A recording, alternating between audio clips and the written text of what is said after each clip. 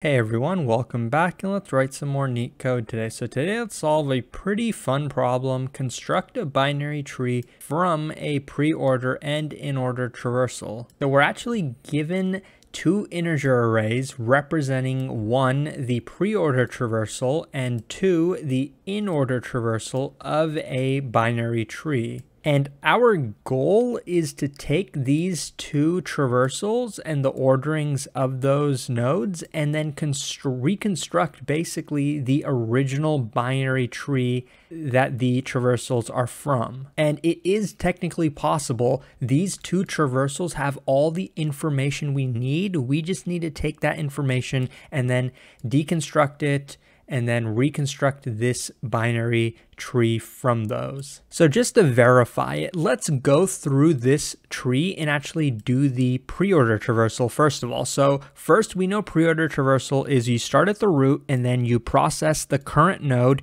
then you do the left subtree, then you do the right subtree, right? So let's just let's just do the pre-order traversal. So we're starting at the root. We do the root node first. That's how pre-order works. So then we get a three. Next, we're going to go to the left subtree and then and then do pre-order traversal on that left subtree.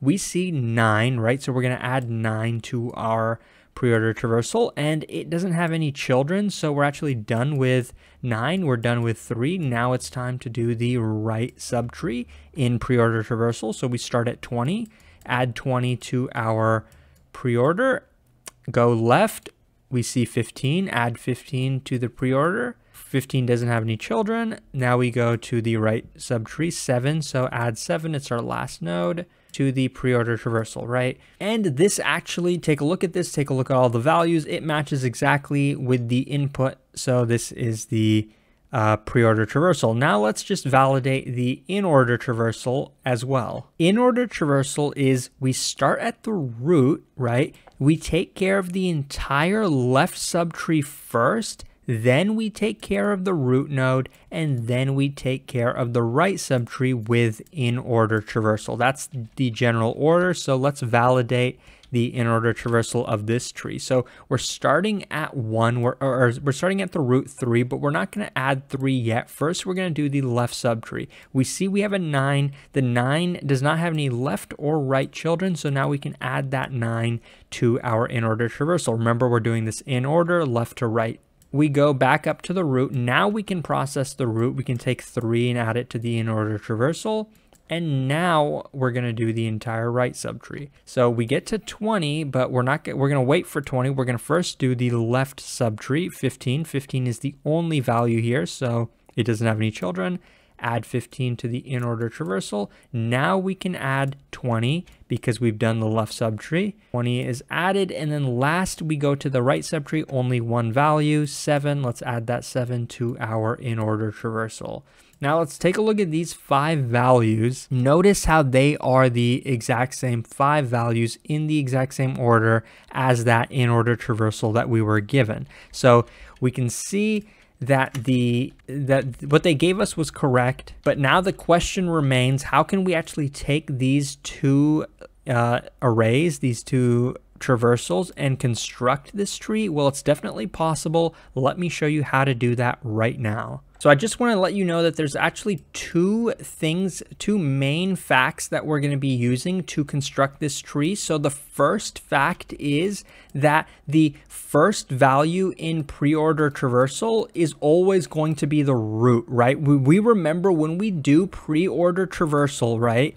We're always processing the root first. So if I was taking the pre-order traversal that we're given, right? We, we remember this is the pre-order traversal that we're given. The first value in pre-order traversal is always going to be the root. So this is the first value three. It's guaranteed to be the root because that's how pre-order traversal works. The first value in pre-order traversal is always the root node. Now we don't know about the rest of these, right? But we can recursively construct now the left subtree and the right subtree, right? We can, we can, we're done with this three, right? Now our goal is to reconstruct the left subtree. Hey, lucky for us, the first value here is always going to be the root of the of the left subtree, right? Because that's how pre-order traversal works, right? So that's one thing that we're going to use. The first value is always going to be the root. And then we can take the sublist, right? We can remove the three. We don't need to look at it anymore. Then we take the sublist and then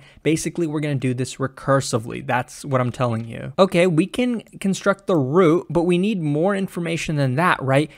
And then we're, let's say we're done looking at this three now. I want to take this uh, array, right? And I want to know which values are going to go in the left subtree and which are going to go in the right subtree. From looking at the actual tree itself, we know the answer, right? We know that this is where we're going to cut our list, right? The 9 is going in the left subtree, right? These three values are going in the right subtree. But how can we determine that? Well, that's what we need our in-order traversal array for.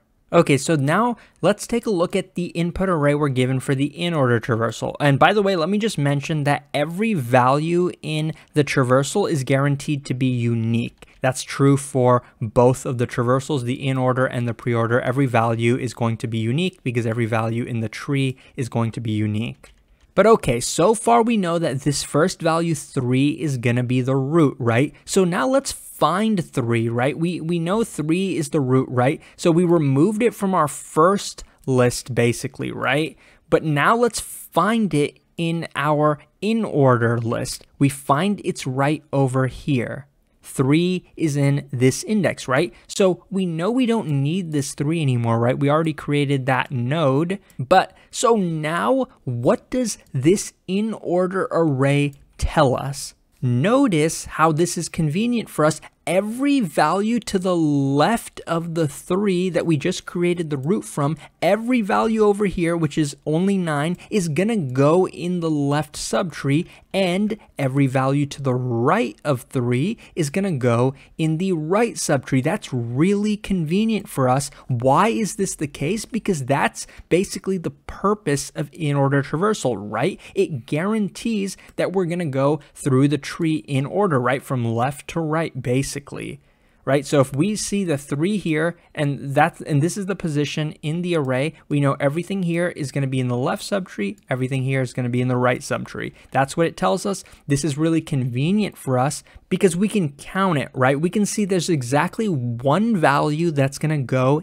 in the left subtree, and there's exactly three values that are going to go in the right subtree. So what we can do is we can take we can take the remainder of the pre-order array and then partition it, right? Partition it over here because we know one value is going to go in the left subtree and three values are going to go in the right subtree. So that's what we're doing and we're going to continue this, right? So now let's recur we're, and by the way in the code we're going to do this recursively let's create the left subtree we know that okay this is the in order portion right and this is how we're going to partition it from pre-order, right? We see th this is the array to create the left subtree. The thing here is, notice how this is size 1, right? There's only one value here and there's only one value here, right? That tells us that the subtree we're creating is only going to have one node in it, right? So 9 is the only node in the left subtree. So we're going to create that node, put the value there, and now we're basically done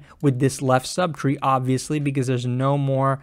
Uh, you know, there's no more nodes left in this general area, right? This These values are reserved for the right subtree. This is reserved for the right subtree. Okay, so now we're looking at the pre-order portion, right? There's three values, just like in the in-order portion. And remember, how are we going to create the root node of this subtree now? We always take the first value in pre-order traversal. It's 20, right? The value is 20. So we're going to take this value 20. We don't need it anymore because we're going to create a, a node from that value. And so now we need to know which values are going to go in the left subtree and which are going to go in the right subtree. We know by finding 20, right? 20 is the value. Let's find 20 in our in order traversal. It's over here. By the way, in the code, I'm going to be calling the index of this mid. So M for mid. We find the index of 20, right? We know we don't need 20 anymore. so we can get rid of it, right? We see that there's one value on the left of 20 and there's one value on the right of 20. This tells us that one value is going to go in the left subtree and one value is going to go in the right subtree, right? Just like we have over here. So now let's construct that left subtree. We know it's going to be exactly size 1 from looking over here.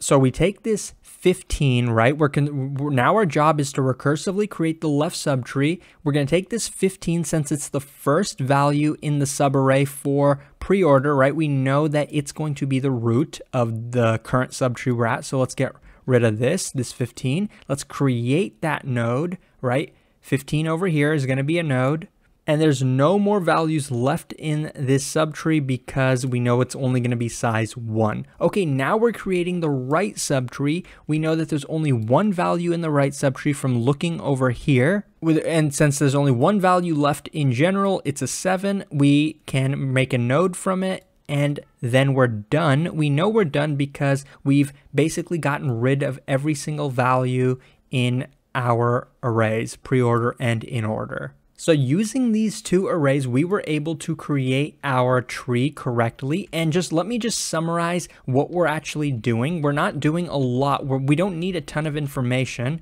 Remember the first value in pre-order the pre-order array is always going to be the root, right? That's just how it works. And then once we take that value, create a node from it, and then when we try to look that value up in in order traversal, right?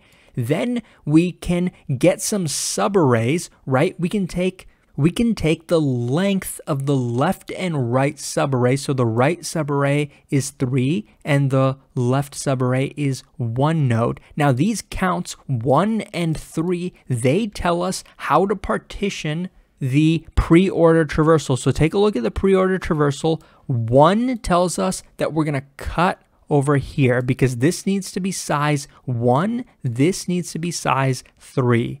And then from this subarray, this subarray with only one value, we are going to recursively run the algorithm to create this left subtree. And with this subarray, we're going to recursively run the algorithm to create this subtree. And we're just going to continuously repeat that process until we get to our base cases and until we're finished with every single node that we need to create. So now let me actually show you the code. It's actually very short, less than 10 lines.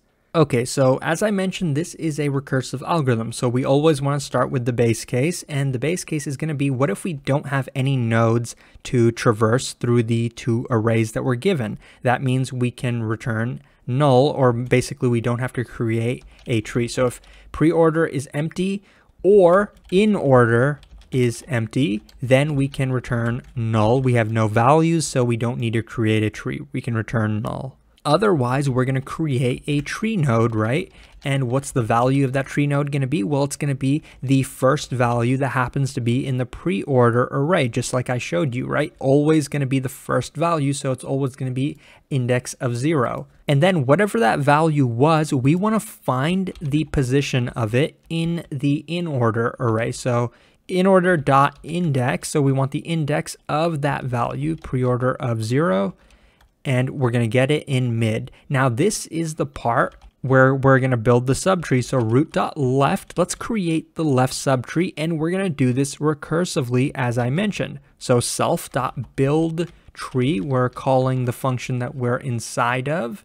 And the convenient part about Python is we can do sublists, so that's going to cut down our code quite a bit. So we need to pass in the new pre-order and in-order arrays, or the subarrays uh, more likely. So pre-order, what are we going to pass in for the left subtree of pre-order? Well, mid tells us Mid tells us how many uh, nodes we want. The index uh, of basically the value of mid tells us how many nodes we want in the left subtree. So what I'm going to do is for pre-order, we're going to start at index 1. We're basically skipping the 0 index because we already just created a node for the 0 index. We're, we're starting at index 1, going all the way up until mid plus 1 in Python. This mid plus 1 is non-inclusive, so this subarray is really just a pre-order from index 1 to mid. So that's what we're doing. and we're going to pass in the in order portion that we need as well. And that's just going to be from the beginning up until mid, but not including mid, right? This probably makes more sense if you go back and look at the picture, but basically we're just creating the appropriate sublists that we need to create the left subtree. We're going to do basically the exact same thing with the right subtree. And I would encourage you to draw this out yourself to basically reinforce what you're learning or watching me do right now. So to build the right subtree, we need every value after this sublist, right? So we can just say starting at index mid plus one, going until the end of the list. That's how you do it in Python. We're starting at mid plus one and going until the end of that sublist, just like I showed in the picture.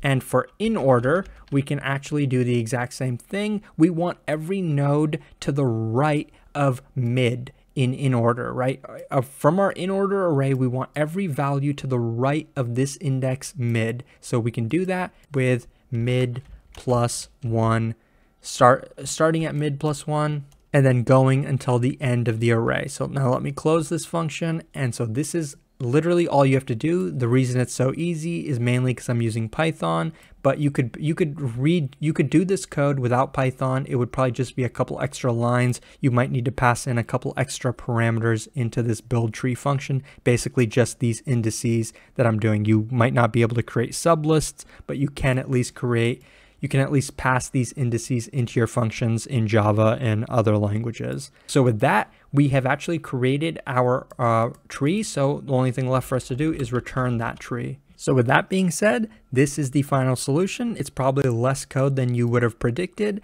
but the problem is a little tricky, but it's kind of enjoyable, at least in my opinion. So I hope that this was helpful. If you enjoyed, please like and subscribe. It supports the channel a lot, and I'll hopefully see you pretty soon.